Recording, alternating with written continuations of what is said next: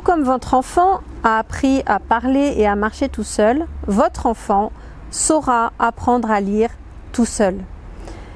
Il n'y a pas de méthode spécifique. Vous pouvez le guider par contre effectivement avec une méthode euh, syllabique pour l'aider tout simplement.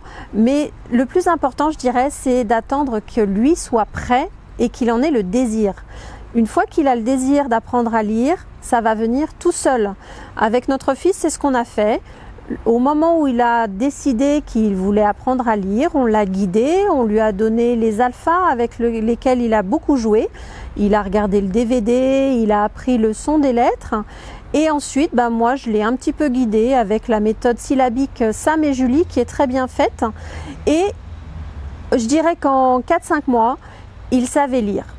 Donc il avait 6 ans passés, 6 ans et demi à peu près dans ces eaux-là. On ne l'a pas bousculé euh, à 6 ans euh, en lui disant euh, il faut que tu apprennes à lire.